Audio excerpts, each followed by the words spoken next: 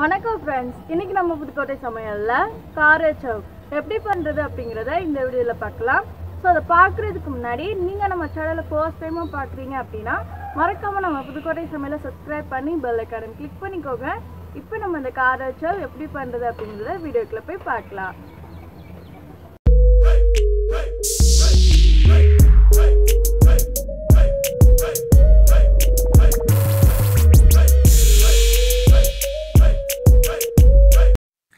காரச்சவ் செய்ய ஆரம்பிச்சிடலாம். ஒரு பவுல் எடுத்து வச்சுருக்கேன். அதில் ரெண்டு கப்பு அளவுக்கு கடலை மாவு சேர்த்துக்கிறேன். அடுத்து அரிசி மாவு ஒரு அஞ்சு டேபிள் ஸ்பூன் அளவுக்கு சேர்த்துக்கிறேன். பொட்டுக்கடலை ஒரு மூணு ஸ்பூன் அளவுக்கு எடுத்து மிக்சியில் சேர்த்து நல்லா அரைச்சிட்டு அந்த மாவை எடுத்து இப்போ சேர்த்துருக்கேன். அரை ஸ்பூன் அளவுக்கு ஜீரகம் நல்லா நச்சுட்டு சேர்த்துக்கோங்க. நல்லா ஃப்ரெஷ்ஷாக அரைச்சி எடுத்தால் மிளகுத்தூள் ஒரு முக்கால் ஸ்பூன் அளவுக்கு சேர்த்துக்கிறேன். நான் வந்து காஷ்மீரி மிளகாய்த்தூள் ஒரு ஸ்பூன் அளவுக்கு சேர்த்துக்கிறேன். உங்கள்கிட்ட காஷ்மீரி மிளகாய்த்தூள் இல்லைன்னா நம்ம ஊர் மிளகாய்த்தூளாக இருந்துச்சுன்னா ஒரு அரை ஸ்பூன் சேர்த்தா சரியான அளவாக இருக்கும். பெருங்காயத்தூள் ஒரு கால் ஸ்பூன் அளவுக்கு சேர்த்துக்கலாம். சோடா மாவு சிறிதளவு சேர்த்துக்கிறேன். உப்பு தேவையான அளவுக்கு சேர்த்துக்கிறேன். பூண்டை மட்டும் ரெண்டு ஸ்பூன் அளவுக்கு நல்லா ஃப்ரெஷ்ஷாக அரைச்சிட்டு சேர்த்துருக்கேன். நல்லா சூடாக இருக்கிற எண்ணெய் ஒரு ஒரு கரண்டி அளவுக்கு சின்ன கரண்டியில் சேர்த்துருக்கேன் இப்போ இது எல்லாத்தையும் நல்லா மிக்ஸ் பண்ணி விட்டுக்கலாம். இப்போ வந்து கையில் கொஞ்சம் கொஞ்சமாக தண்ணி இந்த மாதிரி தெளித்து விட்டு நம்ம வந்து முறுக்கு மாவு பதத்துக்கு நல்லா பிசைஞ்சு எடுத்துக்கலாம்.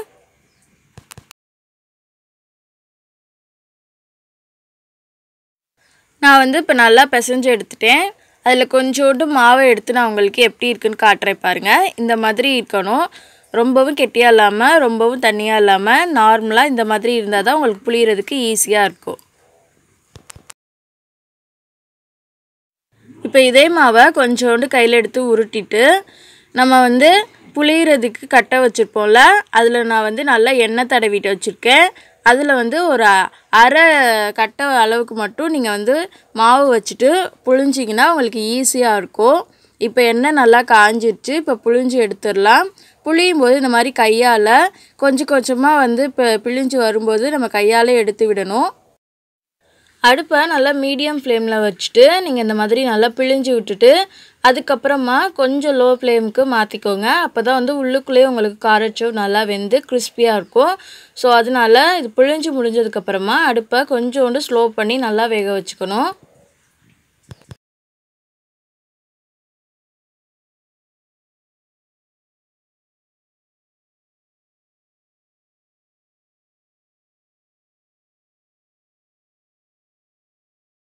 இப்போ வந்து காரச்சுவை நல்லா வந்து திருப்பி விட்டு எல்லா பக்கமும் வேகிற மாதிரி வேக வச்சுக்கோங்க.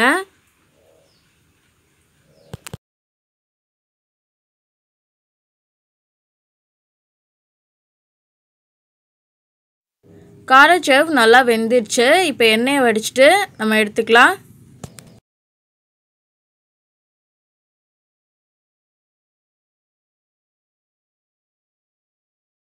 காராச்சோர் நம்ம வந்து முதல்ல சேர்க்கும்போது கையால் வந்து பிழியும் போது எடுத்து விட்டுருப்போம். ஆனால் இந்த வாட்டி பிழியும் போது எடுத்து விடாமல் ஒரே சுத்தாக நம்ம வந்து நம்ம வந்து சுற்றிட்டு லாஸ்ட்டாக வந்து காரச்சவ்லாம் வெந்துரும்ல அதுக்கப்புறமா நம்ம உடச்சி காரச்சவ் சைஸ்க்கு நம்ம எடுத்துக்கலாம்.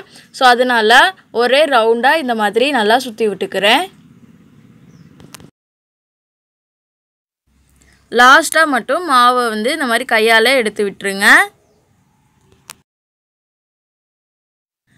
ஒரு பக்கம் காராச்சோ வந்து வெந்துட்டுருக்குல மறுபக்கமும் நல்லா வேகிற மாதிரி திருப்பி விட்டுக்கோங்க இந்த மாதிரி.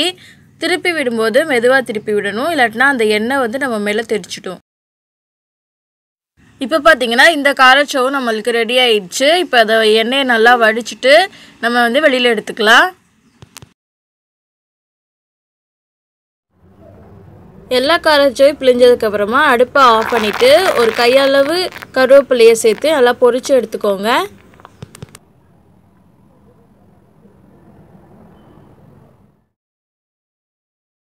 ரெண்டு கப் கடலை மாவில் எவ்வளோ வந்து காரச்சோ நம்மளுக்கு கிடச்சிருக்கு பாருங்கள் இப்போ நம்ம ரவுண்ட் ரவுண்டாக சுட்டு வச்சோம்ல காரச்சோ அதெல்லாம் அந்த மாதிரி ஒன்று சின்ன சின்னமாக உடச்சி போட்டுக்கோங்க.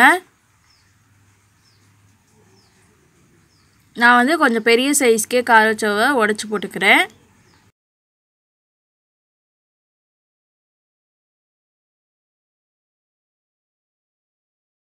காராச்சவ்லாம் நல்லா உடச்சி எடுத்து வச்சுட்டேன்.